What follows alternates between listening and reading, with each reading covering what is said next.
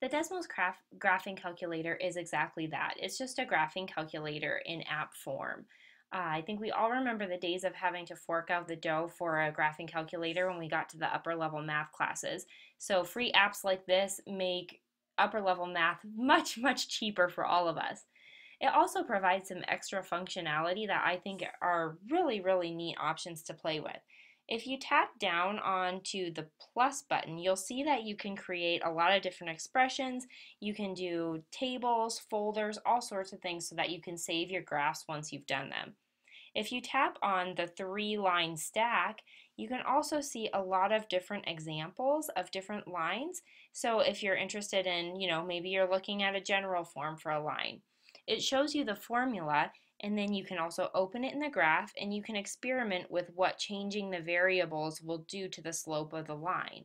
So there, the app really kind of takes the graphing calculator to the next level and the fact that it's completely free is invaluable to many students.